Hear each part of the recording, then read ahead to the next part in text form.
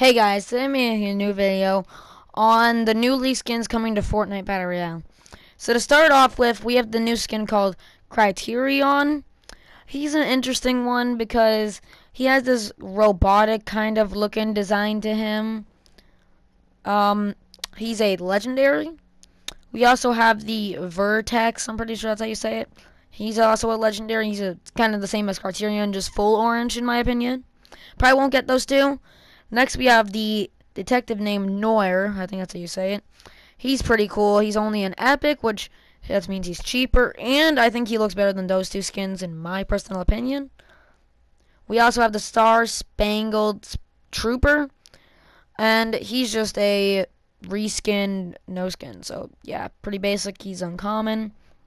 We also have the Firework for our fireworks team leader. She's the cuddle team leader, which is a legendary, but this fireworks team leader is only an epic, and um, she's just a reskin version. So basically, cuddle team leader, but cheaper and Fourth of July themed. Cool. We also have the gumshoe detective. I'm pretty sure. Um, she is a detective, but she isn't a no skin, and she's also an epic. She's very unique, and um, she's a pretty nice skin too. We also have the Oblivion. So that's how you say it. It's basically Omega, um, but a girl version. It's kind of like how we had the um, Black Knight, Red Knight. This makes sense. We also have the other Sleuth Detective. That's what it's called. Um, he's a pretty interesting one. I think he's pretty eh compared to the other one.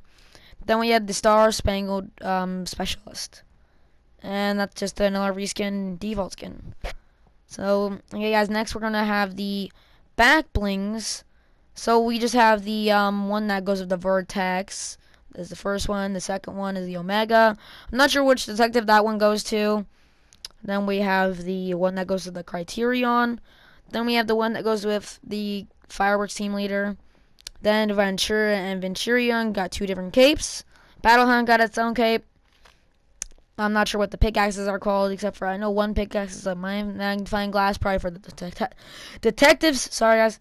Um, then we have the Vertex glider, the Omega's glider, and the girl's glider.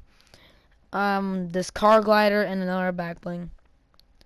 Okay, then we also have the new emotes, which are the Sparkler, the K-pop, the Core Eagle, the Bring It On, and the Infinite Dab.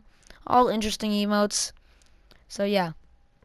Just wanted to get this out for you guys who, uh, you know, haven't known heard this information yet. So I hope you guys enjoyed the video. If you did, make sure to like button and subscribe, and I'll see you guys all in the next video. Peace.